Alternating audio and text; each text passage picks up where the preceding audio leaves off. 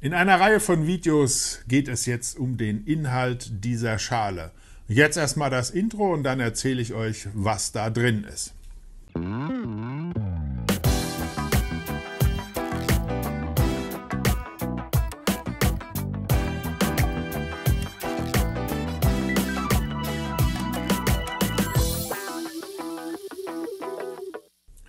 Hallo ihr Lieben und herzlich willkommen. Mein Name ist Sven Klügel und diesen Vorspann werdet ihr ja vor allen Videos sehen, die ja mit diesen Zetteln zu tun haben. Welches Video gerade läuft, das blende ich euch da ein.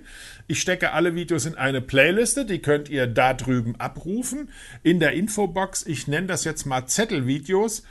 Ähm, ja, um was geht es? Also ich habe hier ganz viele Begriffe mir gestern Abend und heute den ganzen Vormittag immer wieder in eine Textdatei geschrieben. Da ist zum Beispiel Fotokina drin, da ist Kamera drin, da ist Bildbearbeitung drin. Alle diese Begriffe, da werde ich etwas dazu sagen. Die kommen kreuz und quer. Ich werde wirklich nicht schauen, was ich ziehe und ja, so etwa nach 10 Minuten mache ich dann mit dem Video Schluss und es fängt das nächste Video an. Und ihr habt einfach Spaß dabei und ja, hört vielleicht etwas, was euch interessiert.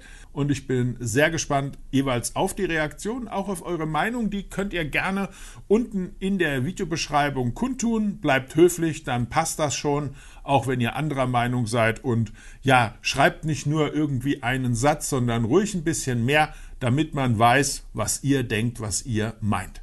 Und jetzt geht es los. Alle Zettel liegen so, dass ich es nicht sehe. Dann nehme ich einfach wieder einen raus. Oh ja, beweg deinen Hintern. Ich glaube, ich habe das eigentlich schon abgehandelt beim Thema Zoom, vielleicht auch Reisezoom. Ist aber dasselbe. Beweg deinen Hintern bedeutet nicht nur, dass man eben was schaffen soll oder lernen soll, sondern wenn man fotografiert, dass man nicht fix auf einer Stelle stehen bleibt, sondern sich überlegt, tue ich jetzt die Statue von da fotografieren, von dort. Der Schatten zum Beispiel, äh, da gibt es viele, viele Dinge, aber wenn ihr stehen bleibt und nur mit dem Zoom arbeitet und sagt, jo, hier von da aus kann ich ja den ganzen Platz um mich rum, den ganzen Marktplatz zum Beispiel fotografieren.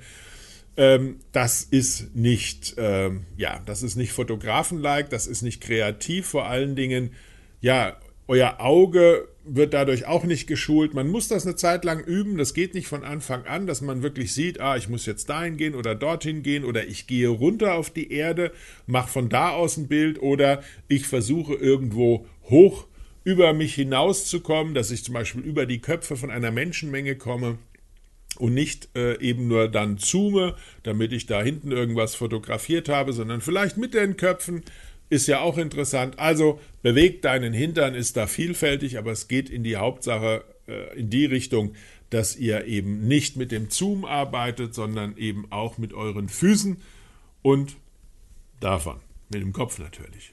Fotorucksack, Fototasche. Ein Thema, wo man lange drüber reden kann. Also, ähm, jeder wie er mag. Punkt. Also das gleich vorweg. Das, was ich denke, müsst ihr nicht denken. Und wenn ihr sagt, ich habe einen Fotorucksack und dafür habe ich mehr Geld ausgegeben und das ist das geilste Ding, was ich habe und in dem Rucksack ist alles drin, was ich habe, was ich brauche, was ich glaube zu brauchen, wenn ich irgendwo hingehe und ich schleppe lieber fünf Kilo mehr, dann ist das euer Ding. Ich für meinen Teil mag das nicht. Ich versuche immer so wenig wie möglich dabei zu haben. Liegt auch daran, dass ich gar nicht alles einpacken könnte, weil dann müsste ich einen Bollerwagen haben, wahrscheinlich auch noch den ich abschließen kann mit Alarmanlage, dass ich mich mal zwei Sekunden bewegen kann, ohne das Ding an den Händen zu haben und zu ziehen oder aufzupassen, weil da wäre verdammt viel drin. Also, es, es gibt keinen das ist meine Meinung, es gibt keinen Fotorucksack, der wirklich 100% ideal ist. Es gibt keine Tasche, die 100% ideal ist. Und mein Tipp ist, ihr braucht verschiedene Taschen.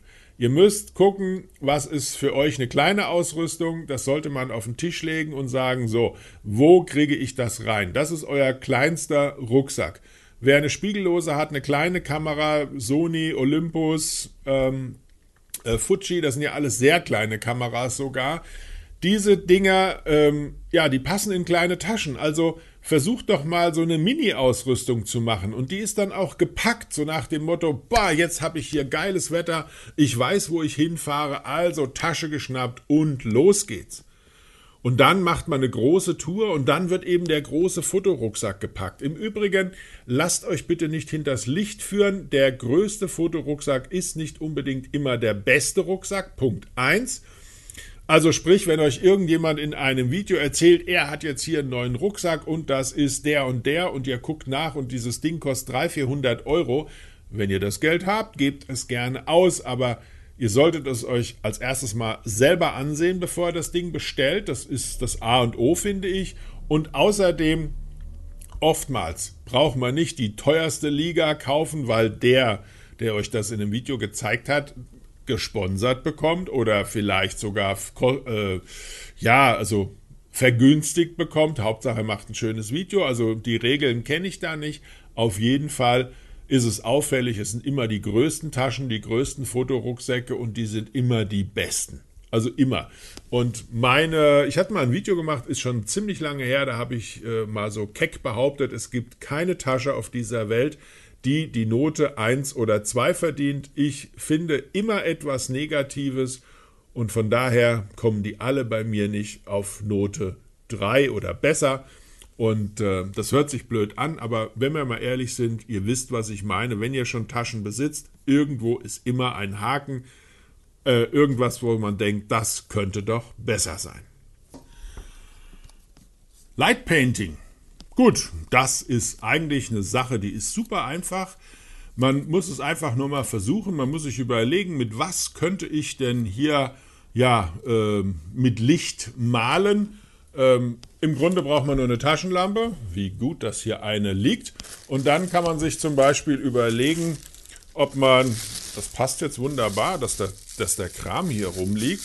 Ja, wobei diese Taschenlampe ist viel zu hell, wird viel zu heiß. Aber wenn ihr zum Beispiel das hier machen würdet und euch einfach in einem Bild bewegt oder irgendwas damit anstellt, wie gesagt, diese Taschenlampe ist zu heiß, das ist jetzt auch viel zu hell. Mal gucken, ob die dunkler wird. Nee, das schafft das nicht, weil äh, die Blende ist nicht auf Automatik. Also sowas ist Light Painting hoch 3. Ihr müsst einfach ausprobieren, kreativ sein. Und ähm, ich sage euch was, das kann richtig Spaß machen. Werde mich bald mit jemandem treffen. Vielleicht gibt es dann auch mal ein paar Bilder zu sehen. Muss ich mit ihm abklären. Äh, wir wollen einfach mal Light Painting machen. Ich habe da wirklich ein paar Ideen, die man sonst ganz anders nur umsetzen kann. Wir werden es, wie gesagt, sehen. Und äh, ja, es gibt unglaublich viele Videos zu Light Painting. Ihr werdet dann auch feststellen, dass das richtig süchtig machen kann und man vielleicht auf die Idee kommt, irgendwelche Dinge einzukaufen. Und ähm, ja, aber es geht auch ganz simpel ein Stück Plastik, eine alte PV, äh, eine alte Getränkeflasche.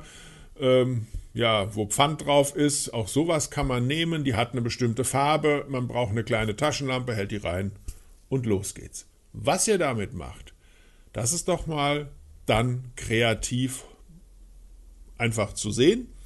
Und ähm, es macht auf jeden Fall Spaß. Und wenn jemand sozusagen auch noch Model für euch spielt, dann hat der auf jeden Fall Bilder, die man nicht äh, an jeder Ecke sieht auch wenn viele Motive von, ich sag mal, von ein paar Light Painting Profis geklaut werden.